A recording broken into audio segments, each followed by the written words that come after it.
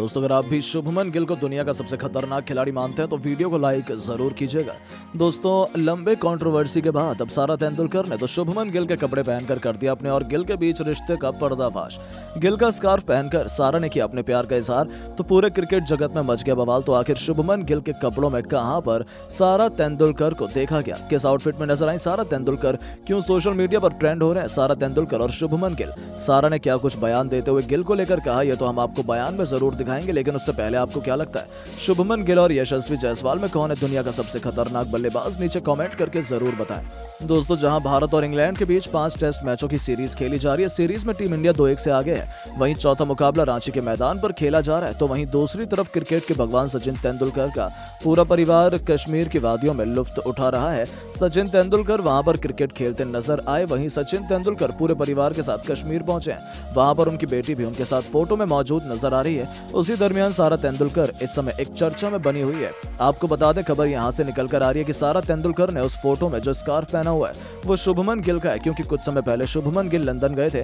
वहाँ पर शुभमन के लिए स्कार्फ पहने हुए नज़र आए थे। हर कोई यही कह रहा है कि सारा तेंदुलकर ने जो स्कार्फ पहना है, वो शुभमन गिल का ही है, क्योंकि फ़ोटो में एक ही रंग और एक ही डिज़ाइन का वो स्कार्फ नज़र आ रहा है, जो दोनों के गले में दिख रहा है। इसके बाद तो सारा तेंदुलकर और शुभमन गिल सोशल मीडिया पर आग की तरफ़ वायरल हो रहे हैं। इन दोनों के फैंस इस फ़ोटो को खूब पसंद कर रहे हैं। वहीं सारा तेंदुलकर ने तो बयान देकर अपने और गिल के रिश्तों पर हर किसी को चौंका दिया यहाँ तक कि उन्होंने स्कार्फ को भी लेकर खुलासा किया तो चलिए हम आपको सारा तेंदुलकर के बयान को सुनाते हैं। आखिर क्या कुछ सारा तेंदुलकर ने बयान देते हुए कहा है?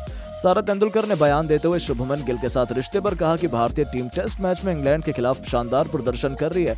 मेरे सबसे पसंदीदा बल्लेबाज शुभमन गिल का भी बल्ला खूब जमकर दहाड़ रहा है। वो मेरे सबसे पसंदीदा खिलाड़ी हैं। मैं उनकी बल्लेबाजी को बेहद मिस कर रही हूँ, क्योंकि हम उनके परिवार के साथ अभी कश्मीर की वादियों में आए हुए हैं। घूमने के लिए मुझे उम्मीद है कि गिल शानदार प्रदर्शन करेगा। वो अपनी बल्लेबाजी से टीम इंडिया को ज़रूर सीरीज़ में जीत दिलाएगा। वैसे भी गिल हमारा बेस्ट फ्रेंड है। तो दोस्तों, देखा आपने किस तरह से सारा तेंदुलकर ने बयान देकर हर किसी को हैरान कर दिया। दोस्तों, जब यशस्वी की गेंदबाजी से इंप्रेस होकर स्मृति मंधाना ने न केवल उनसे मुलाकात की, बल्कि उनसे हाथ मिलाते हुए उनकी जमकर तारीफ़ कर डाली तो यशस्वी जायसवाल का चेहरा तो शर्म से लाल हो गया। दोस्तों, आखिर कैसे जायसवाल की घातक गेंदबाजी देख हैरान हुई मंधाना? क्यों यशस्वी जायसवाल से मिलने पहुँची स्मृति? जायसवाल और मंधाना को एक साथ देखकर क्या था स्टेडियम में बैठे धोनी रोहित का रिएक्शन कैसे मंधाना के सामने जायसवाल का चेहरा भी शर्म से लाल हो गया था? उस खूबसूरत लम्हे का पूरा वीडियो तो हम आपको दिखाएँगे ही, लेकिन उससे पहले आपको क्या लगता है? यशस्वी जायसवाल और सरफराज खान में कौन है दुनिया का सबसे खतरनाक बल्लेबाज? नीचे कमेंट करके ज़रूर बताएँ। दोस्तों, भारत और इंग्लैंड के बीच चौथा टेस्ट मुकाबला रांची के मैदान पर खेला गया। इस मुकाबले में भारत के सबसे खतरनाक गेंदबाज जसप्रीत बुमराह को आराम दिया गया। उनकी जगह पर डोमेस्टिक क्रिकेट के हीरो रहे आकाशदीप को डेब्यू करने का मौका मिला। आकाशदीप को राहुल द्रविड़ ने डेब्यू टेस्ट कैप पहनाया। इस मुकाबले में कप्तान रोहित शर्मा को टॉस हारने के बाद पहले गेंदबाजी मिली। भारतीय गेंदबाज बेहद खतरनाक प्रदर्शन दिखा रहे थे, लेकिन इंग्लैंड की ओपनिंग जोड़ी मैदान पर टिकी हुई थी। लेकिन कप्तान रोहित शर्मा हार नहीं माने और अपने गेंदबाजों से लगातार गेंदबाजी करने गए। उन्हें आकाशदीप पर सबसे अधिक भरोसा था। आकाशदीप ने अपने खतरनाक गेंदबाजी से टीम इंडिया को शुरुआती तीन झटके देकर मैच का पूरा रुख पलट दिया। आकाशदीप ने पहले बैंड और फिर ऑली पॉप, उसके बाद जैक्रॉली को पवेलियन का रास्ता दिखाकर पूरी इंग्लैंड की टीम की कमर तोड़ दी थी। सत्तावन रनों के स्कोर पर इंग्लैंड के तीन बल्लेबाज पवेलियन की शोभा बढ़ाने जा चुके थे। उनकी गेंदबाजी देखकर स्टेडियम में बैठे सभी दर्शक खुशी से झूम उठे, लेकिन एक तरफ़ से जो रूट मैदान पर टिके हुए थे तो दूसरी तरफ़ से विकेट की झड़ी लग रही थी। आकाशदीप के बाद मोहम्मद सिराज, जडेजा और अश्विन ने मिलकर इंग्लैंड के साथ बल्लेबाजों को पवेलियन का रास्ता दिखा दिया। 245 रनों के स्कोर पर इंग्लैंड को सातवां झटका टॉम हार्टली के रूप में लगा। उसके बाद पहले दिन का खेल खत्म होने तक एक भी विकेट नहीं गिर पाया और टीम के लिए अंतिम ओवर फेंकने आए एसएससी जायसवाल। बेहद खतरनाक गेंदबाजी करना ज़्यादा दिखा रहे थे। वो अपनी गेंदबाजी से तो इंग्लैंड गेंदबाजों को खूब चकमा दे रहे थे, लेकिन वो विकेट नहीं निकाल सके।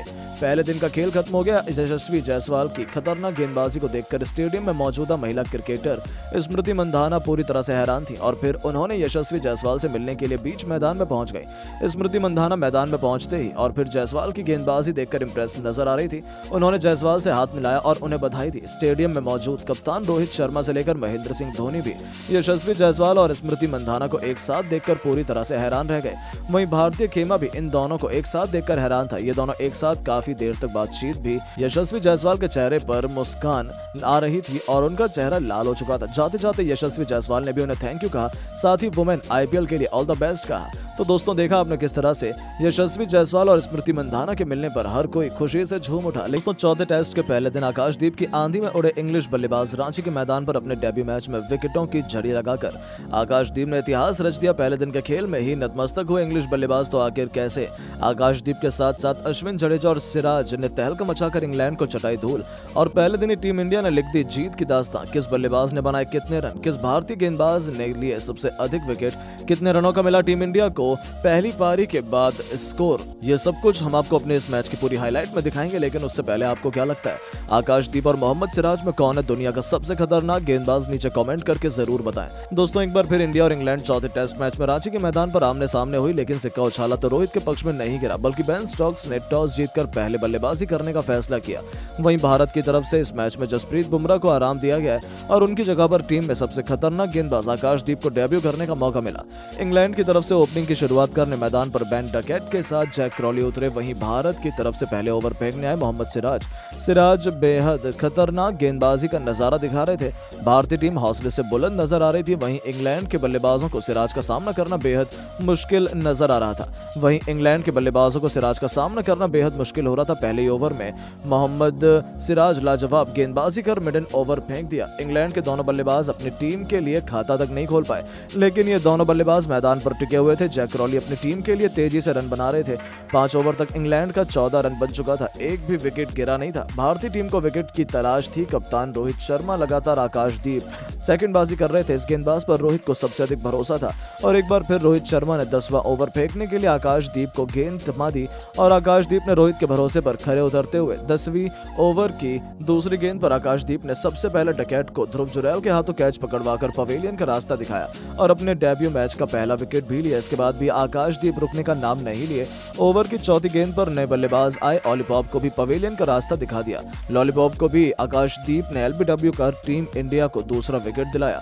एक ही ओवर में आकाशदीप ने टीम इंडिया को दो विकेट दिला दिए। इंग्लैंड टीम दस ओवर में सैंतालीस रनों पर दो विकेट गवा चुकी थी, लेकिन आकाशदीप का जलवा रुकने का नाम नहीं ले रहा था। टीम के लिए एक बार फिर बारवा ओवर फेंकने आए। आकाशदीप ने इस ओवर की पांचवी गेंद पर जैक रॉली को क्लीन बोल्ड कर पवेलियन का रास्ता दिखा दिया।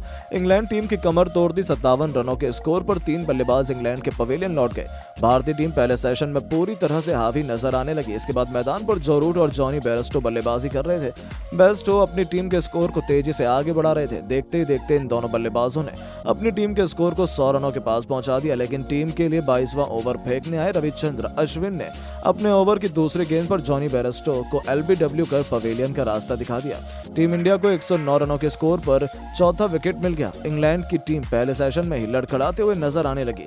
अब मैदान पर कप्तान बेन स्टॉक्स आ चुके थे, लेकिन ये भी ज़्यादा देर तक मैदान पर टिक नहीं पाए। टीम के लिए पच्चीसवां ओवर फेंकने आए रविंद्र जडेजा ने। ओवर की पहली गेंद पर बेन स्टॉक्स को पवेलियन का रास्ता दिखाकर इंग्लैंड के आधे बल्लेबाजों को पवेलियन की राह दिखा दी। 112 रन पर इंग्लैंड के पाँच बल्लेबाज पवेलियन लौट गए। इसके बाद एम्पायर ने लंच ब्रेक कर दिया। लंच ब्रेक के बाद जो रूट और बेन स्टॉक्स मैदान पर बल्लेबाजी करने आए, ये दोनों बल्लेबाज अपनी टीम के स्कोर को धीरे धीरे आगे बढ़ा रहे थे। एक के बाद एक कई चौके लगाए और देखते देखते फ्री टीम के स्कोर को 150 रनों के पार पहुँचाया। दोनों बल्लेबाजों ने मिलकर 50 रनों की अर्धशतकीय साझेदारी भी पूरी की।